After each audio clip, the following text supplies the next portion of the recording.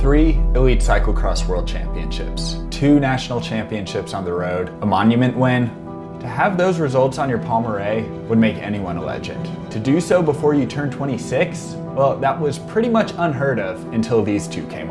Wout van Aert has dominated this World Championship. He's the world champion. Mathieu van der Poel. Wout van Aert now also takes the silver medal and he punches the air. Van der Poel is going to take it. Is he Van Aert coming with a lunge?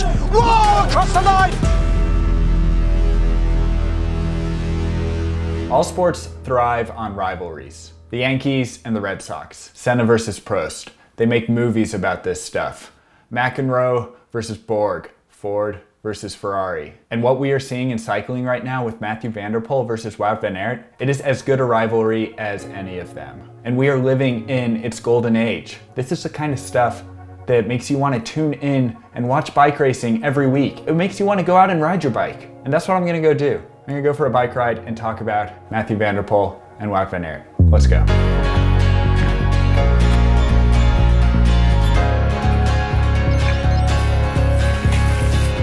Now Wout van Aert and Mathieu van der Poel, they both are worthy of the title rider of their generation. Their versatility, their strength, it's pretty much unmatched. It is just our good fortune that they happen to be born a few months apart. They have been at this rivalry thing for a long time. In fact, there has been no cyclocross for Wout van Aert without Mathieu van der Poel. From something like eight years of age at Wout's very first cyclocross race, there was Mathieu van der Poel. It's a bit strange to uh, to compete uh, already against each other when we were still kids. I can remember this uh, literally from the first day I was racing. I we saw him. Yeah, everyone was looking at them. They had the most beautiful bikes. Uh, they were have the Rabobank kits, everything. Mathieu van der Poel and Wout van Aert, they both appeared on the world stage in 2012, the Junior Cyclocross World Championships in Koksijde, and Mathieu van der Poel drew first blood.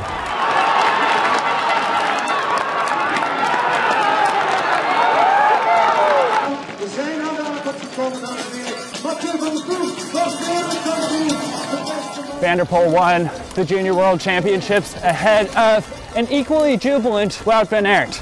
2014, Wout van Aert got revenge.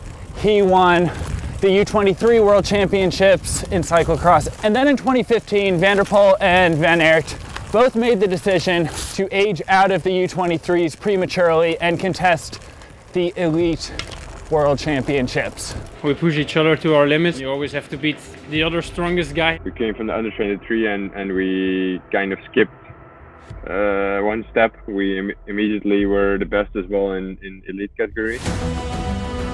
The tears are already falling because this rider at 20 years of age has driven away from the entire elite men's field. The emotion breaks out. He's the world champion, Mathieu van der Poel.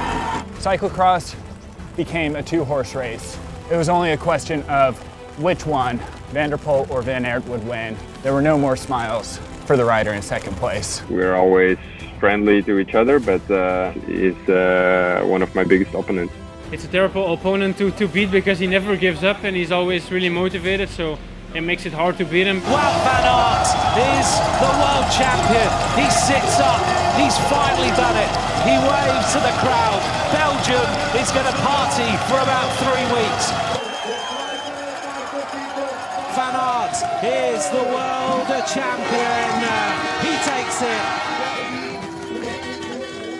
By 2018, the two were still committing a lot of time and energy to their cyclocross program, but they were beginning to branch out, test the waters, racing professionally on the road, and resuming the rivalry in a new discipline. Besides cyclocross, we, we choose our own path. I improve myself in time trialing and sprinting, and uh, Mathieu choose the path of the of the mountain bike. He's coming to the road as well, and uh, we already saw what what ha- what's happening then. So I think uh, in future he, he will do the same.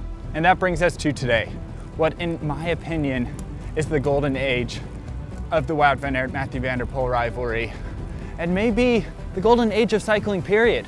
Who knows? We are seeing Mathieu van der Poel and Wout van Aert go head to head. One wins on one weekend, the other wins on the other. There's no clear favorite. They're doing the same thing on the road and producing some of the most spectacular performances in the process. Look at Van der Poel going from behind though. Look at Van der Poel on the left hand side. Mathieu Van der going to do it. Mathieu Van der Poel, this is incredible. I have never ever seen anything like this in my life. Mathieu Van der Poel makes it back, drives it on from a long way, and has pulled off one of the most incredible wins you are ever likely to see in the history of professional cycling. Wout van Aert is positioned absolutely perfectly. This is a big lead out. Cees Bol, Wout van Aert. It's a drag race. Wout van Aert looking for the victory on the line. Wout van Aert takes stage five. Unbelievable win by Wout van Aert. Wout van Aert now heading towards the top of La Planche des Belles Filles. Wout van Aert has ridden a superb individual time trial. Wout van Aert is going to go top of the leaderboard. What a time from Wout van Aert. What can't this bike rider do? In 2021, Mathieu Van der Poel, who has never done a Grand Tour to date, will be in attendance at the Tour de France, where he will inevitably run into Wout van Aert once again. What the two push themselves to do is anybody's guess. Suffice it to say, it's probably going to be pretty spectacular.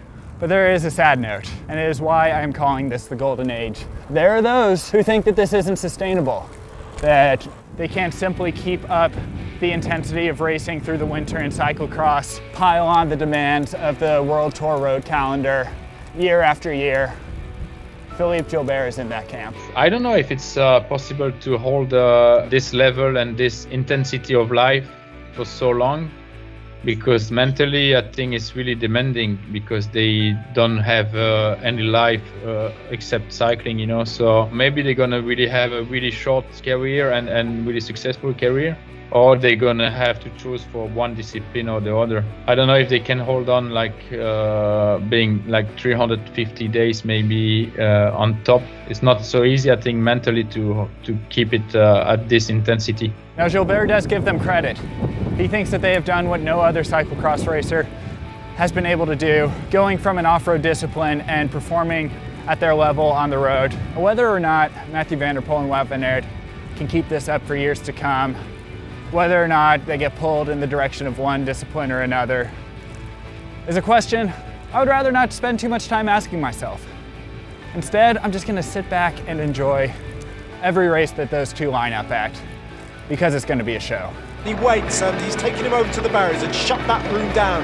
And he looks now. Surely it's uh, between these two with 200 metres to go. Van Aert has to go. Van Aert goes. And here we go. Mathieu Van der Poel reacts. They're locked together. Van Aert alongside him. Van Aert, Van der Poel alongside each other. Van der Poel powering ahead of Van Aert. Whoa, across the line.